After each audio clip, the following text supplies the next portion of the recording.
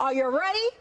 Let's go. Okay. Let's go. Let's go. We're going to jump in, right bring into it the, on. As in, bring it on. right. Sharon asks, does it make a difference which part of the Trinity I pray to? In a class I'm taking, I was told certain prayers should be addressed to Jesus and certain ones to the Holy Spirit. What do you think, Pat?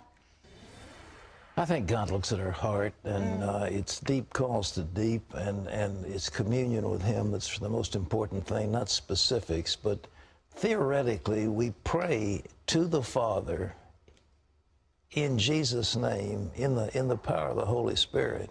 We don't pray to the Holy Spirit. And, and, uh, and of course, you can pray to Jesus, but nevertheless, it's, it's in His name. He, it's the po- power of, of, of, of uh, attorney that we have in His name. It gives us the access, but we pray to the Father and say, Father, in the name of Jesus, I'm coming to you, and I'm, I'm in the power of the Holy Spirit. That's the theoretically. All right, what's There you go. Right. Anita says, what is the recipe for Pat's breakfast cereal with oatmeal, pecans, walnuts, maple syrup? I tried it a while ago, but I think I'm forgetting something. It was so good. Do you remember that, Pat? We made that a, maybe about a year ago. You brought that on the show? I, no, I, I didn't write down the formula, but I have oat bran, and I have oatmeal, mm-hmm.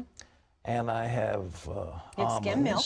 You know, I have almonds, uh-huh. and I have pecans, and I have walnuts, and uh, what else? You had have? some maple syrup. I have maple syrup, and I have uh, cinnamon, which is very nice, Yeah. and uh, that should be enough. I think that's it. But you know what? But I It's- also put I. I, I, I have mixed berries that you can get at Costco, Mm-hmm. and you put mixed berries on top of it too. So I've got raspberries Mm-hmm. and blueberries and other kind of berries, and they're all together. It was, it was very lovely, and I just wanted to remind everybody that if you want Pat's exact recipe, all you have to do is log on to cbn.com. You We'll give that to you. Yeah, that's what one of the producers told me. well, I didn't know that. Okay. My exact recipe is right now we're pushing minestrone soup. Yeah, well, okay, minestrone soup is the key. But if you want oatmeal too. that's lunch or dinner. All right, what's really quick. Scarlett writes, please explain in 1 John 5:19. It says, "We know that we are God, and the whole world lies under the sway of the wicked one." Does this mean that the evil one rules the world? Yes, he is considered the prince of the power of the air, the prince of this world. Jesus said comes. He's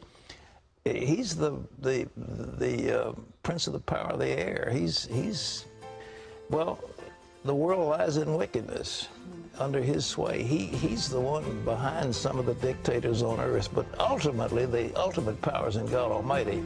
I mean, it's God's devil. He's in charge of all of it.